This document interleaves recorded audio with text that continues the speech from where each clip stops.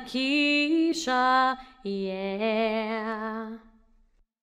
One happy birthday dot com.